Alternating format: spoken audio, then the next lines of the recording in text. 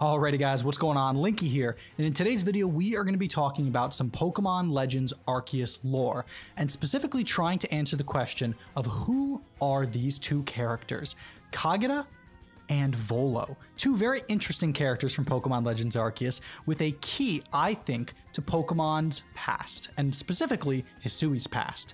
That being said, let's jump right into things.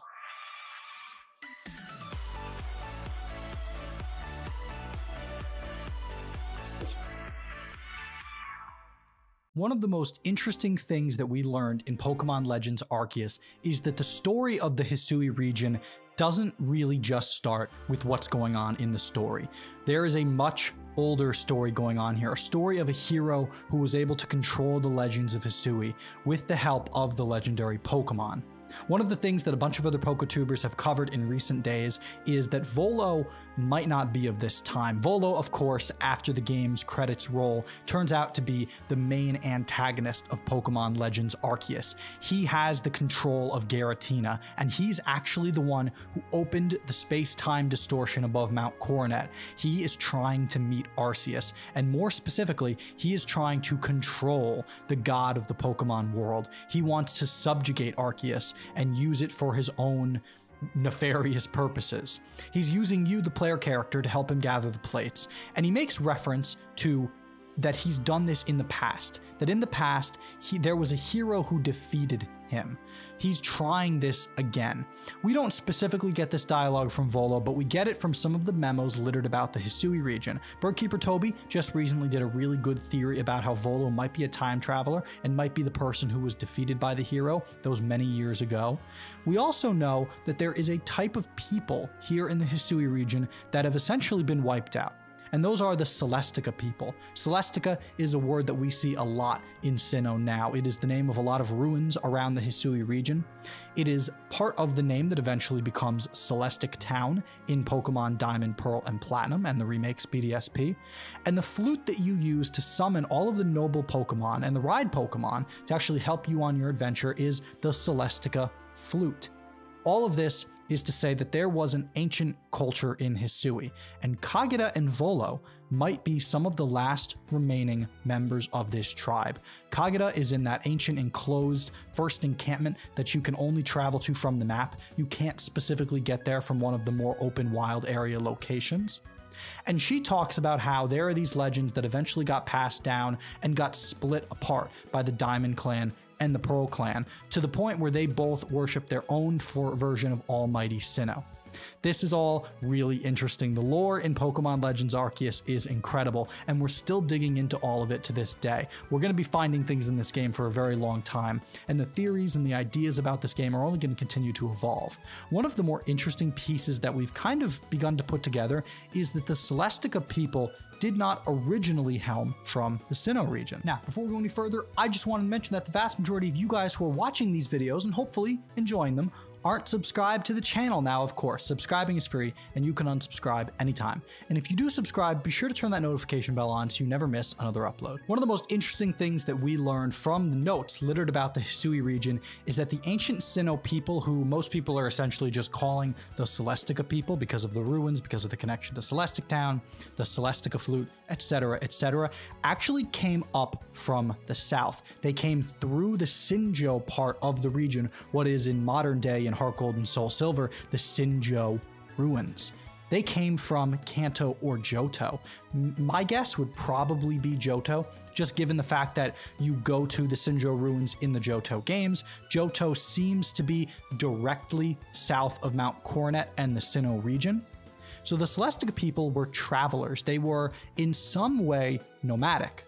They might have originally lived in Johto and were driven out for some reason. Maybe they were looking for the gods of the Pokemon world, looking to find some sort of religious revival, who knows. This is a lot of there's a lot of religiosity in the Gen 4 games. They traveled eventually to the Hisui region and settled in the Hisui region, but they came through Sinjoh.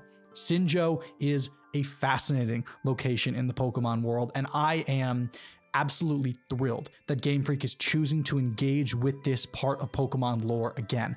But the most interesting thing is that the Celestica people aren't around anymore. We can presume, based on Cogita and where she lives, and the fact that her and Volo are very, very similar to Cynthia, that her family, Cynthia's family in Pokemon Diamond, Pearl, and Platinum, are ancestors of the Celestica people. This is a theory that has been going around the community in the last couple days as well, and I wanted to build on that here.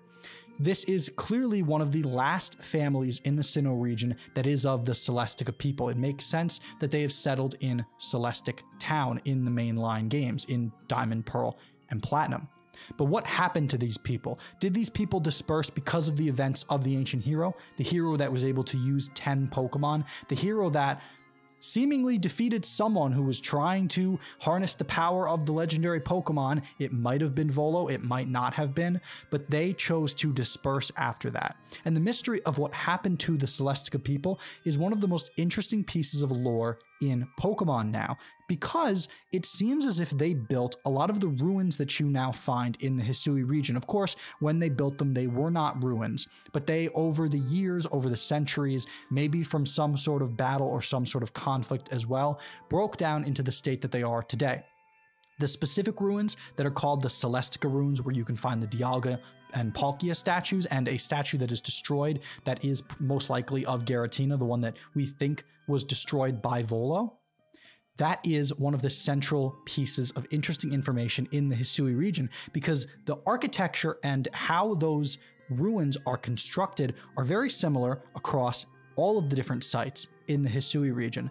Not only are they very similar to all of these sites littered about the Hisui region, but they're also very similar to Mount Coronet. They are very similar to Spear Pillar at the top of Mount Coronet. Did the ancient Celestica people build Mount Coronet's spear pillar? Did they build it as a monument to the gods, to Arceus, Dialga, Palkia, and Giratina? And what is Giratina's true role? It's an it's an interesting discussion that I want to have in a future video. A lot of what we see in Pokemon Legends Arceus reveals that Volo was using Giratina. He captured and took control of Giratina and wanted to use Giratina to get to Arceus, eventually to gather all the plates with your help, bring Arceus into the world and control him. But Giratina was the first Pokemon that he used. I find it very hard to believe that a Pokemon as powerful as Giratina simply let itself be under the control of a user like Volo when he clearly didn't have the red chain or any of these things necessary to bring about control of these godlike Pokemon. So there's a theory that I would love to have that our Giratina had some some motives here. Giratina let himself be under the control of Volo. Giratina wanted to get back at Arceus for banishing him to the reverse world, to the distortion world, and wanted to use a human to do it. But that's a theory for another day. This is just some light speculation about the Celestica people. I'm kind of feeling down this week. I'm coming down with a bit of a cold, so I do apologize if my voice is scratchy or if there's been a lack of content. I'm trying to get better and get back on into the swing of things. But if you have any other thoughts about the Celestica people and the lore of the Hisui slash Sinnoh region, I would love to hear it down in the comments section below. What do you think of what we learned in Legends Arceus? What do you think of some of the theories uh, that are around the Pokemon community right now? What do you think of a future video talking about Giratina? Because I really want to do it. I would love to know what you guys think down below. And if you enjoyed the video, please be sure to leave a like because it always helps support the channel, helps other people find these videos. And if you're not subscribed, be sure to hit that subscribe button like I mentioned before. I've been Linky, and we'll see y'all in the next video. Peace out.